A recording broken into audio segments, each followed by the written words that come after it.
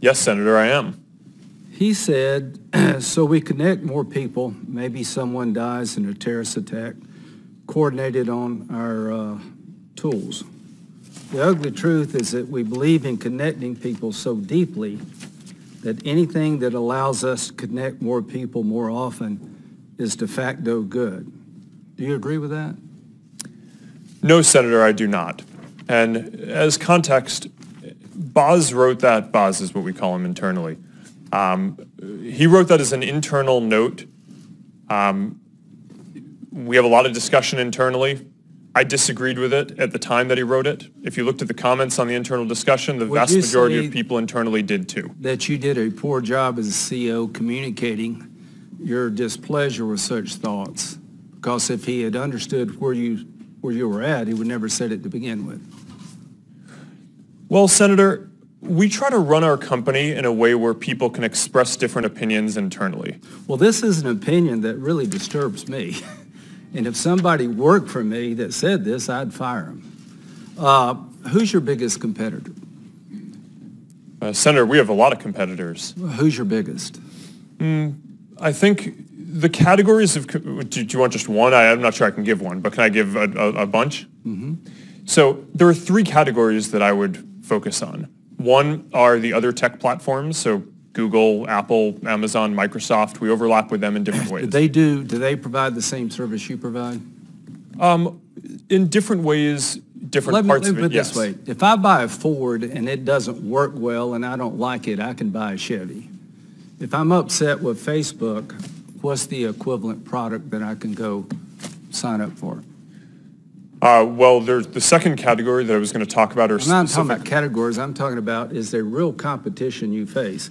Because car companies face a lot of competition. If they make a defective car, it gets out in the world, people stop buying that car, they buy another one. Is it an alternative to Facebook in the private sector? Uh, yes, Senator. The average American uses eight different apps Okay. to communicate with their friends and stay in touch with people, Okay. ranging from texting apps the- to it's the email same to. service you provide. Well, we is- provide a number of different Is services. Twitter the same as what you do? It overlaps with a portion You of don't what we think you do. have a monopoly? Uh, it certainly doesn't feel like that to me. Okay. So it doesn't. So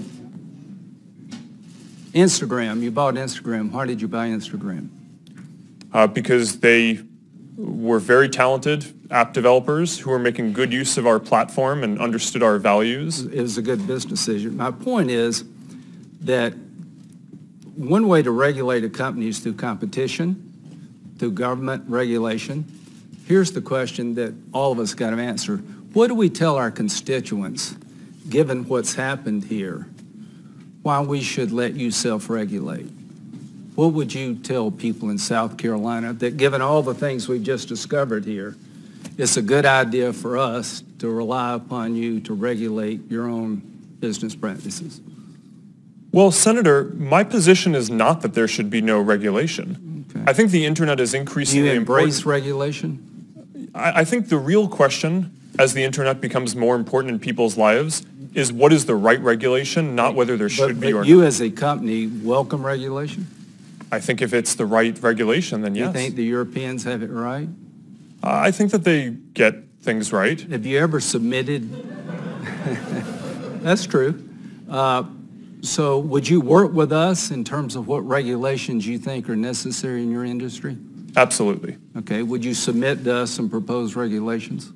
Yes, and I'll have my team follow up with you so that way we can have this discussion across the different categories where I think that this discussion needs to happen. Look forward to it. When you sign up for Facebook, you sign up uh, for terms of service. Are you familiar with that? Yes. Okay.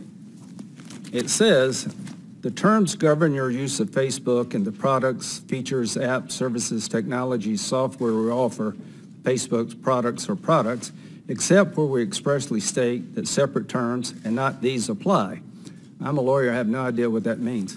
But when you look at terms of service, this is what you get. Do you think the average consumer understands what they're signing up for?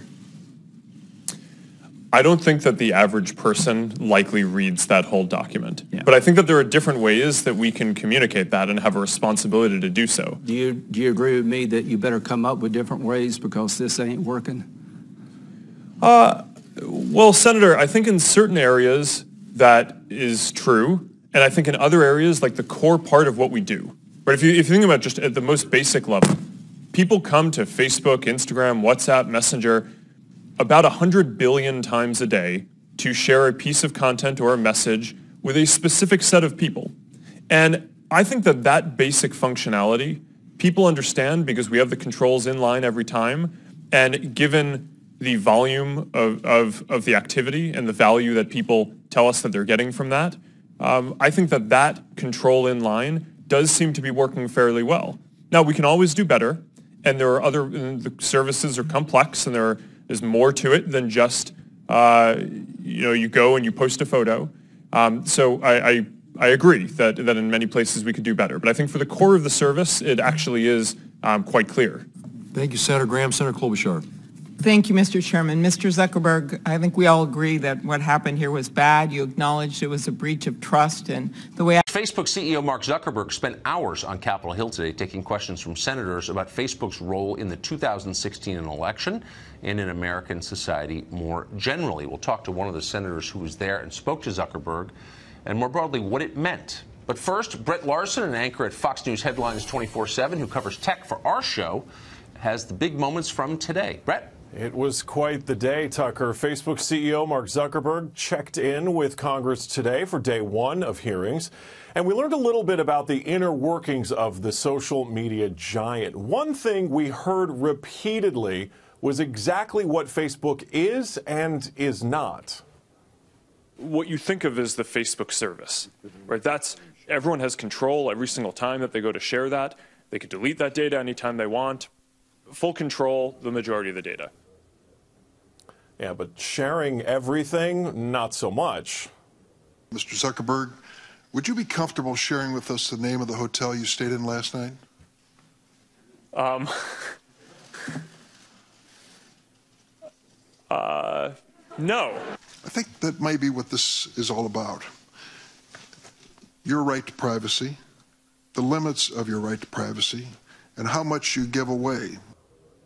But with 2.2 billion users and in the wake of concerns about more than 80 million users having their data stolen by political consulting firm Cambridge Analytica, is Facebook your only choice?